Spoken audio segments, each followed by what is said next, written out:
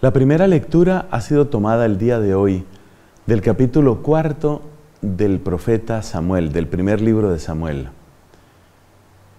Creo que nos deja una enseñanza muy importante sobre lo que es una falsa conversión, o lo que podríamos llamar una conversión en falso. En mi país por lo menos se utiliza una expresión cuando a veces hay una herida que es más profunda de lo que parece.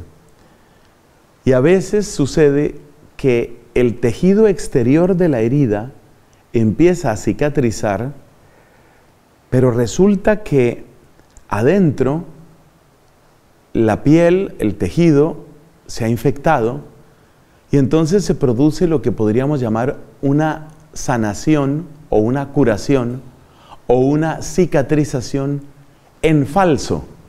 Se utiliza esa expresión Curó, pero curó en falso. Es decir, sí se unió la piel, pero la infección siguió adentro. Por supuesto es muy peligrosa esa clase de curación en falso, porque quiere decir que lejos de arreglarse el problema, lo más posible es que se agrave, precisamente porque no se está poniendo el remedio. Podemos decir que el capítulo cuarto del primer libro de Samuel nos presenta algo parecido, una curación en falso. Ellos fueron heridos, ¿en qué sentido? En el sentido de que sus enemigos, los filisteos, los atacaron y los vencieron. Y hubo gente que murió. Entonces el pueblo se siente golpeado, el pueblo se siente herido. Hay que hacer algo. Pero el remedio que ellos proponen no es el de una verdadera curación de la herida. Es decir, ellos, ellos no sacan la infección, no sacan el problema. Ellos creen que utilizando el arca de Dios como una especie de amuleto, todo va a salir bien. Es decir, los filisteos nos vencieron, pensemos, pensemos, que, que, ¿por qué ha pasado esto? Hagamos algo. Pero hagamos algo es que hacen únicamente una sanación en falso.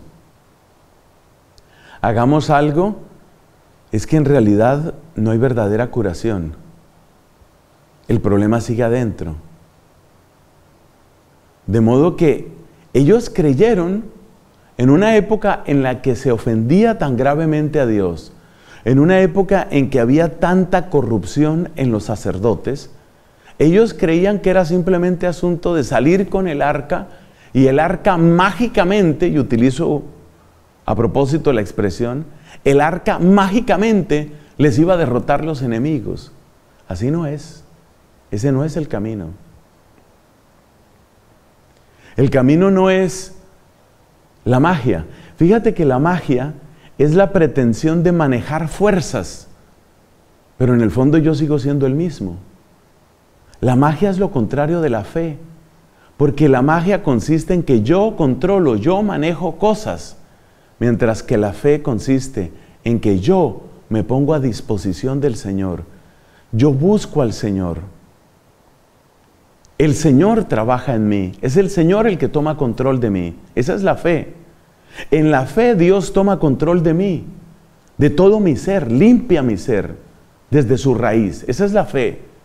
En la magia soy yo el que controla.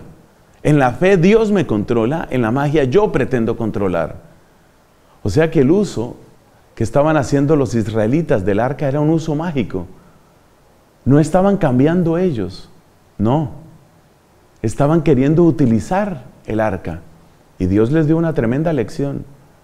Porque resulta que esos sacerdotes corruptos terminaron muertos y con muerte ignominiosa Mientras que el arca, esa arca que servía como mágica, o querían utilizarlos, utilizarla ellos de una manera mágica, esa arca cayó en manos de los enemigos. Es una gran lección. Cuidado con las conversiones a medias. Cuidado con las curaciones en falso. Dios nos habla muy claramente y nos dice, amarás al Señor con todo tu corazón no es únicamente con la superficie, no es únicamente de una manera mágica. lejos de la magia, la verdadera fe. Ahí está nuestra salvación.